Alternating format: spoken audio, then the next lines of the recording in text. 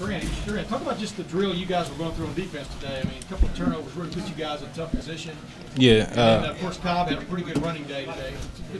Talk about the turnovers, getting in a tough position uh, you know, as a defense, you know, if we get put in that position, it's our job to stop them. And uh, a, few, a couple of times, I guess a few times, we, did- that didn't happen.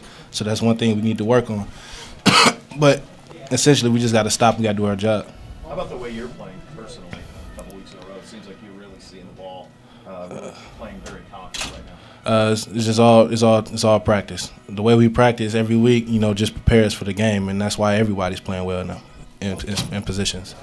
three of them that that's being on after your turnover. How tough it to to immediately jump on the field after something like that? Repeat the question. If your offense commits three turnovers, they scored touchdowns on those three turnovers, Uh-huh. a sudden change, how tough is that for defense to adjust to? I mean, it's tough, but it's a part of being uh, it's part of being on defense. You know, like I said before, you just got to do your job. Our job is to stop them. So And the, uh, the pick six that was uh, taken away, legit call or not? uh, I got to watch it. I don't know. Smart. The next play, just next play for me. Next play. You guys were rushed on for more than 200 yards today and stuff. I mean, I know that was a focal point going in, stop their run and stuff. Was that a little bit of a tough thing to, to swallow?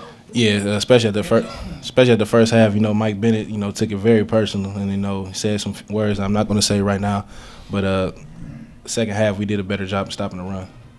Do you guys, do you pay attention to the national stuff at all in terms of style points and all that stuff that's kind of buzzed out there? I mean, it feels like you guys dominated this game, but you end up winning by seven. Is it, what's kind of the feeling on it? This game, Yeah. um, it was a tough, hard fought game. You know, they're a Big Ten team. Uh, they're, they're one of the top Big Ten teams. Uh, obviously, you know, they won a, they won a lot of games in the conference, and you know, we got to give them credit. They're prepared. They were tough. Uh, we just came out victorious. Did they throw anything out at, the, at you guys that you didn't recognize or you had to kind of adjust to, maybe not expecting? I mean, no, not really. Ju- they stick to the game plan. They did what they do, and uh, they're pretty good at it. Now that you've seen Maxx Williams 88 up front, up close in person, how good is he? Clearly, he had some plays today. but he had Yeah. plays in, the past. Yeah, he's uh he's he's a, he's a really good player.